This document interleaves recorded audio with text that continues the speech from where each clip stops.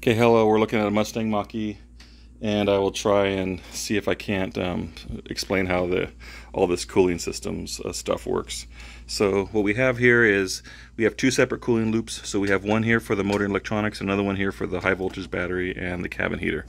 So starting um, at the motor electronics, there's a radiator here and the fluid, this, the only coolant that goes through that radiator is the motor electronics coolant. So it actually comes out of the radiator down down over there. It's kind of dark, I can't see it, but it picks it up right here, and then it flows across underneath the tub, and it goes into this motor here.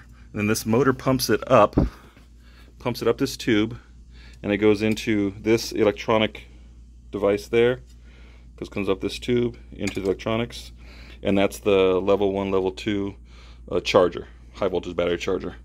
And then there's a couple there's a pipe back here a couple pipes back here so you might be able to see it the little blue tape. That's the out coming out of that uh, charger. You can actually um, see um, that it's cut well that it's coming out of the charger there. So and then it runs across the top into the DC to DC converter.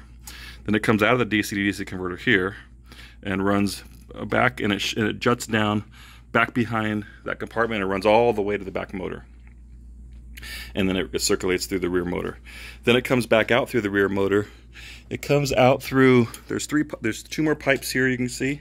This, this back one there, the one I'm touching there, the farthest one, where we now picked it up with yellow tape, goes into this, um, the inverter it's the front motor inverter um, electronic system.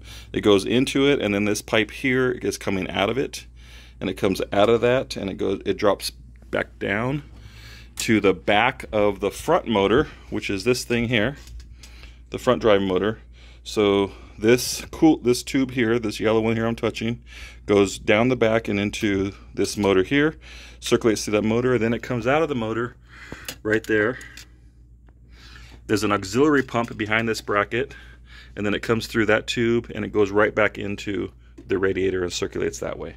So that's how the motor uh, electronics cooling loop works. And that's how it circulates. So there's two pumps.